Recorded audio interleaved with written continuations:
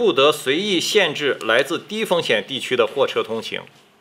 要求各地根据货运车辆和司乘人员的实际行程、是否涉疫等情况，精准实施通行管控，不得以车籍地、户籍地作为限制通行的条件，全面取消对来自低风险地区的货运车辆的呃防疫通行限制。二是不得以通信行程卡带星号为由限制货车通行；三是不得以等待核酸检测结果为由限制货车通行；